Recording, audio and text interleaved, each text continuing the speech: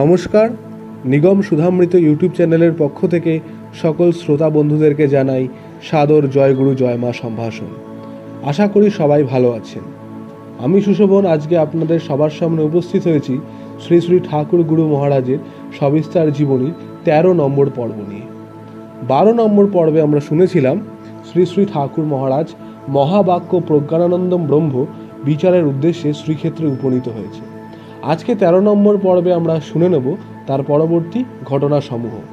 Video শুরুর আগে বলি, চ্যানেলটি যদি ভিডিও ভালো লাগে, তবে অবশ্যই নিগম সুধামৃত ইউটিউব চ্যানেলটিকে সাবস্ক্রাইব করতে ভুলবেন না এবং লাইক, কমেন্ট ও শেয়ার অবশ্যই করবেন আপনাদের সবার মূল্যবান মতামত নিগম সুধামৃত ইউটিউব চ্যানেলের পক্ষ থেকে আমার একান্ত কাম্য। তো আসুন তাহলে মূল পর্বে আসি। আজকে শুরু করতে চলেছি শ্রী শ্রী ঠাকুর মহারাজের সবিস্তার জীবনীর তেরো নম্বর পর্ব।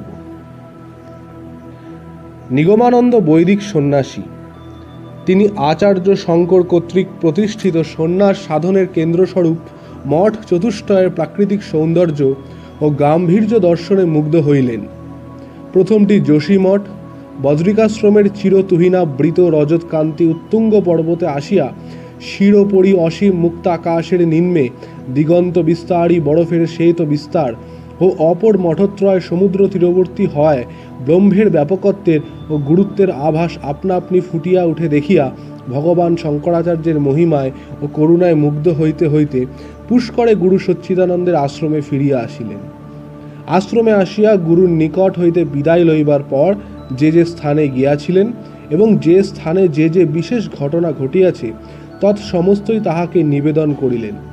অতঃপর দেশ পর্যটন জনিত শ্রান্তি বিদূরিত হইলে নিগমানন্দ সচ্চিদানন্দকে বলিলেন, বেদান্ত দর্শন পাঠ করিয়া ও চারিধাম পরিভ্রমণ করিয়া তিনি যে ব্রহ্মতত্ত্বকে বিচারের দ্বারা বুঝিতে চেষ্টা করিয়াছেন, ওই সমস্তই পরোক্ষ জ্ঞান।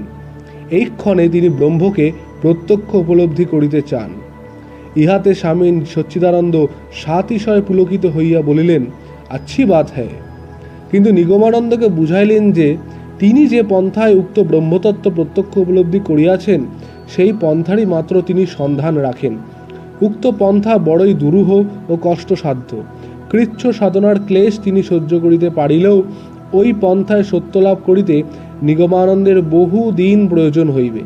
তিনি যেরূপ বুঝিয়াছেন ও দিব্যদৃষ্টিতে যাহা দেখিয়াছেন, তাহাতে তাহার মনে হইতেছে যে পঞ্চকোষ বিবেকী কোনো যোগী গুরুর অনুসন্ধান করিয়া যোগ সাধনা করিলে অতি অল্প সময়ের ভিতরই পরমাত্ম তত্ত্ব নিগমানন্দের উপলব্ধি হইবে এবং তখনই বিনা আয়াসেই ব্রহ্মতত্ত্ব নির্বিকল্প সমাধির ভিতর দিয়া ফুটিয়া উঠিবে, যাকে বলে নির্বিকল্প আপসে আ জায়গা।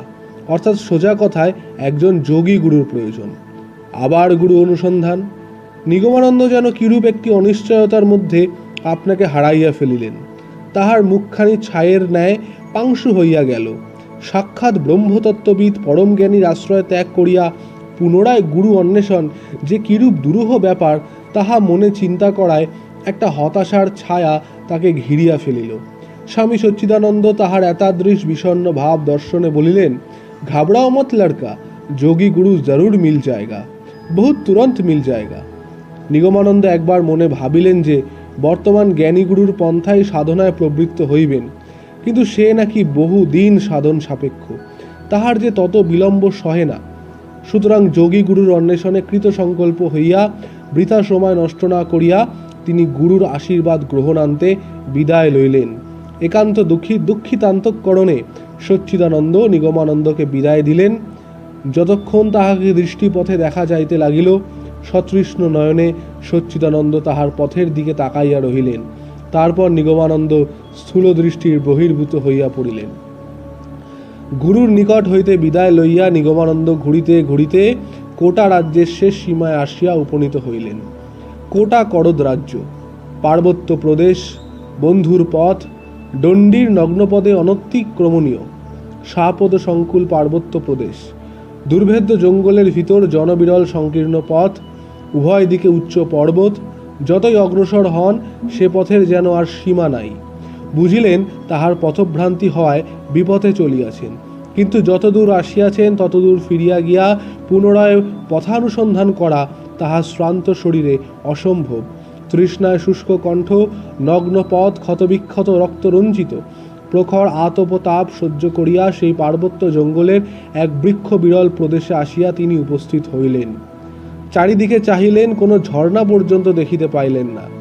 তখন আকাশে সূর্য ঢলিয়া পড়িয়াছে, আসন্ন সন্ধ্যা। এমন সময় অদূরে একটি যুবতীকে দাঁড়াইয়া থাকিতে দেখিতে পাইলেন। বিজন গহন বনে লোক দেখিয়া কতকটা আশ্বস্ত ও কতকটা বিস্ময় বোধ করিলেন। স্ত্রীলোকটি আগন্তুককে দেখিয়া তাহার নাম ধরিয়া ডাকিল, নিগমানন্দ, যেন কতকালের পরিচিত সে, সহজ সরল তার আহ্বান। যেন সর্বপ্রকার সংকোচ ও ভয় শূন্য। বিস্ময় বিমুগ্ধ চিত্তে নিগমানন্দ তাহার দিকে অগ্রসর হইলেন। এই জনবিরল জঙ্গলে স্ত্রীলোক, এ যে বড় অদ্ভুত। উপরন্ত, এ তো আর পার্বত্য বা জঙ্গলি কোল ভিলের ন্যায় আকৃতি সম্পন্ন নয় যে বিস্ময়ের কোনো কারণ থাকিবে না, এবং ডাকিল একেবারে তাহার নাম ধরিয়া। নাম সে কৃপকারে জানিল? এইরূপ কৌতূহলোদ্দীপক নানা প্রকার উত্থান বিলয় হইতে হইতে নিগমানন্দ তাহার সমীপস্থ হইলে যুবতীটি বলিল, তোমার বড় পিপাসা পেয়েছে। আর একটু এগিয়ে যাও, তথা একটি পর্ণকুটির দেখতে পাবে। সেখানেও ঝর্ণা আছে। ইচ্ছা হলে বিশ্রাম করে যেতে পারবে। যুবতীর বাক্য অনুসারে তড়িৎ পদে নিগমানন্দ চলিতে থাকিলেন, কারণ সন্ধ্যা আগত প্রায়। তৎপূর্বে জঙ্গল হইতে নিষ্ক্রান্ত হইতে হইবে। সুতরাং প্রশ্নের সমাধান দূরে থাকুক। আরও বহুতর প্রশ্ন তাহার মনের ভিতর জাগিতে লাগিল। এইরূপ নানা চিন্তা করিতে করিতে প্রায় আধ মাইল দূরে তিনি একটি পর্ণকুঠির দেখিতে পাইলেন। বুঝিলেন, এই সেই পর্ণকুঠির। আরেকটু অগ্রসর হইলেই পূর্বোক্ত সেই যুবতীটি পর্ণকুটিরের নিকট দণ্ডায়মান দেখিতে পাইলেন। সে নিগমানন্দের নিকট অগ্রসর হইয়া বলিল, এখানে বিশ্রাম করো। কুটিরাভ্যন্তরে তোমার জন্য সামান্য জলযোগের ব্যবস্থা আছে। নিগমানন্দ প্রায় আধ মাইল দূরে যুবতীটিকে দেখিয়া আসিয়াছেন। অথচ সে তাহার আসিবার পূর্বেই কি প্রকারে এখানে উপস্থিত হইল, ইহা চিন্তা করিতে করিতে কুটিরের ভিতর গিয়া দেখিতে পাইলেন যে কয়েকটি চিনির সন্দেশ, একটু ফল ও কন্দমূল একখানি রেকি রেকাবির উপর তাহার জন্য সাজানো রহিয়াছে। তিনি আহার করিলেন, কিন্তু এদিকে রাত্রি হইয়া গেল। কি করিবেন এইরূপ ভাবিতেছেন? এমন সময় যুবতীটি বলিল, আজ রাত্রে এখানে অবস্থান করো, প্রত্যুষে চলিয়া যাইও। কারণ বাঘ ভাল্লুকের বড় উৎপাত এবং তুমি পথও চেনো না। অবশ্য ইহা ভিন্ন তখন কোনো গত্যন্তর ছিল না। তিনি তাহাতেই রাজি হইলেন। যুবতীটি তখন সেই পর্ণকুটিরে দুখানি বড় কুশাসন পাশাপাশি বিস্তার করিয়া একটিতে তাহাকে শুইতে বলিল, অপরটিতে সে নিজে শুইল। উভয়ের শয্যার মধ্যে পার্থক্য রহিল মাত্র এক হাত ভূমি। একে বিস্তীর্ণ গভীর জঙ্গলের ভিতর একটি পর্ণকুটির তাহাতে পার্বত্য অন্ধকার, ভীষণ নিস্তব্ধতা, মাঝে মাঝে পাখির ডানা নাড়ার পথপথ শব্দ, সে নিস্তব্ধতা ভঙ্গ করিতেছে। কুটির আভ্যন্তরে দণ্ডী সন্ন্যাসীর পার্শ্বে যুবতীর শয্যা। ইহা সন্ন্যাস ধর্ম বিরোধী, নিগমানন্দের নিদ্রা আসিল না। মনের ভিতর নানা প্রকার কৌতূহল ও বিস্ময়ের উদয় হইতে লাগিল। বহু চেষ্টা সত্ত্বেও যখন তাহার নিদ্রা আসিল না, তখন যুবতীটি বলিল, তোমার নিদ্রা আসছে না? পায়ে বড় বেদনা হয়েছে, টিপে দেব কি? নিগমানন্দ তাহাকে নিষেধ করিয়া বলিলেন, আমি বাহিরে গিয়া শয়ন করি। যুবতীটি তাহাতে আপত্তি জানাই জানাইয়া স্থানটি হিংস্র জন্তুর আবাসস্থল বলিয়া তাহাকে নিরস্ত করিল এবং বলিল, আমি না হয় বাইরে গিয়া শয়ন করি, তুমি ঘুমাও। অতিথি গৃহস্থকে বহিষ্কৃত করিয়া দিয়া সুখে নিদ্রা যাইবে, ইহা বড় অশোভন ব্যাপার। সুতরাং নিগমানন্দ তাহাকে খোলাখুলি বলিলেন কয়েকটি বিষয় আমার বড় কৌতূহল হইয়াছে। সেই সব বিষয় তোমার নিকট জানিতে পারিলে আমি নিদ্রা যাইতে পারি। যুবতীটি তাহাতে অসম্মতি প্রকাশ করিল না। সুতরাং যুবতীটির সহিত পথিমধ্যে দেখা হওয়ার পর সে কি প্রকারে তাহার অগ্রে আসিল, কি প্রকারে তাহার নাম জানিল এবং সে কেনই বা সেখানে ঐরূপভাবে অবস্থান করিতেছে ইত্যাদি বিষয় জানিতে চাহিলেন।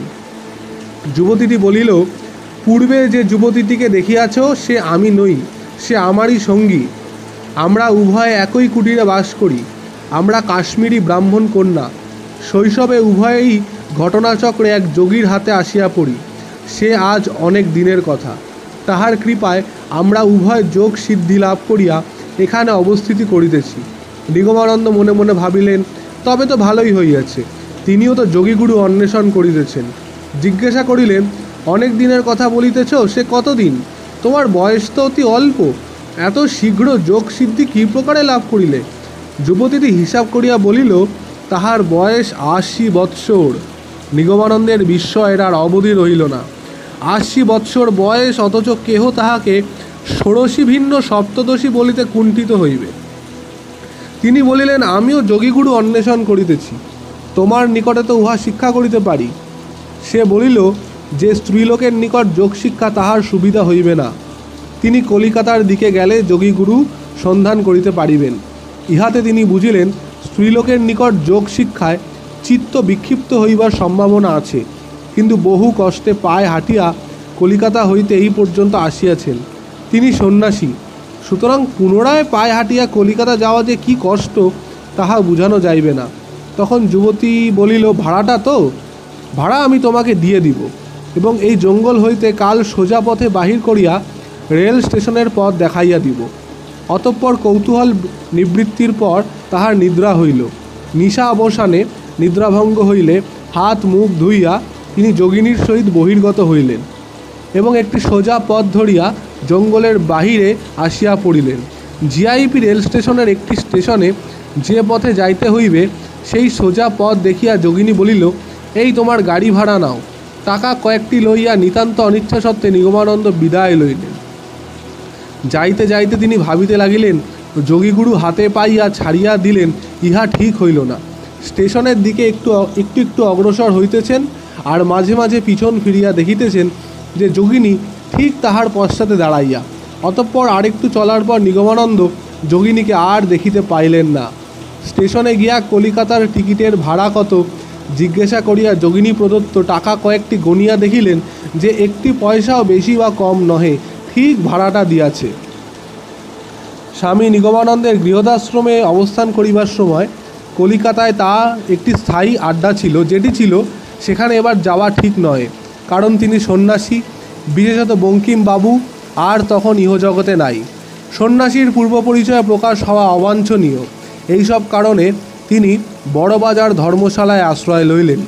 দুই চার দিন পরে বড়বাজার ধর্মশালায় এক ব্যক্তির নিকট একটি সংবাদপত্রে দেখিলেন যে, প্রসিদ্ধ ব্রহ্মবিদুষী ডক্টর অ্যানি বেসান কৃষ্ণনগরে পরলোক তত্ত্ব সম্বন্ধে বক্তৃতা দিবেন। নূতন কোনো তথ্য প্রকাশ করিবেন কি না এবং বেদান্ত দর্শনের সহিত তাহার প্রদত্ত বক্তৃতায় কত ব্যবধান? লেড বিটারের নিকট এডিআরে অবস্থান করিয়া যাহা জানিয়াছিলেন তদপেক্ষা কিছু বেশি তাহার আয়ত্ত হইয়াছে কিনা জানিতে নিগমানন্দের বিশেষ কৌতূহল হইল। তিনি তাহার লোটা, কম্বল ও চিন্তাখানি লইয়া শিয়ালদহ স্টেশনে উপস্থিত হইলেন। হাতে পয়সা নাই, অথচ ট্রেনে যাইতেও ইচ্ছা আছে, কিন্তু ফাঁকি দিয়া তিনি কোনোদিন ট্রেনে চাপেন নাই, এখনও চাপিবেন না। সুতরাং কি করিবেন ইতস্তত করিতে থাকিলেন। এখনকার মতো তখন এত কড়াকড়ি ছিল না। সাধু সন্ন্যাসীকে বিনা টিকিটে ট্রেনে চাপিতে দেখিলে রেল কর্মচারী কর্তৃক নামাইয়া দেওয়া হইত না। কিন্তু উপযাচক হইয়া প্রার্থী হইতে হইবে, ইহাও তিনি কোনোদিন পারিয়া উঠেন নাই। সুতরাং কি করিবেন ভাবিতেছেন? এমতো সময় কৃষ্ণনগর যাত্রী, জনৈক ভদ্রলোক, আপনা হইতেই তাহাকে জিজ্ঞাসা করিয়া জানিলেন যে, তিনি কৃষ্ণনগরে যাইবেন। অতঃপর ভদ্রলোকটি গার্ডকে সন্ন্যাসীর কথা বলিলে গার্ড তাহাতে কোনো আপত্তি করিল না। অতঃপর তিনি গাড়িতে চাপিলেন। ওই দিন গাড়িতে অত্যন্ত ভিড় হইয়াছিল, কারণ বহু লোক কৃষ্ণনগরে ডক্টর বেশান্তের বক্তৃতা শুনিতে যাইতেছিল। কৃষ্ণনগরে পৌঁছিয়া তিনি পরমেশ্বর লাহিড়ী নামক জনৈক উকিলের বাসায় অতিথি হইলেন ও সভারম্ভে গৃহস্বামীর সহিত বক্তৃতা শুনিতে গেলেন। জয় গুরু, জয় মা। শ্রী শ্রী ঠাকুর গুরু মহারাজের সবিস্তার জীবনীর তেরো নম্বর পর্ব আজকে এখানেই সমাপ্ত হলো। ভিডিওটি ভালো লাগলে অবশ্যই নিগম সুধারামৃতি ইউটিউব চ্যানেলটিকে সাবস্ক্রাইব করে দেবেন। ঠাকুর গুরু মহারাজের কৃপায় আপনারা সকলে ভালো থাকবেন, সুস্থ থাকবেন, গুরুভাবে থাকবেন। আজকের মতন এখানেই এই পর্ব শেষ করে আমি সুশোভন আপনাদের নিকট থেকে বিদায় নিচ্ছি। আপনাদের সঙ্গে দেখা হবে আবার আগামী পর্বে। ততদিন সবাই ভালো থাকবেন, ঠাকুরের নামে থাকবেন। জয় গুরু জয় গুরু, জয় মা জয় মা।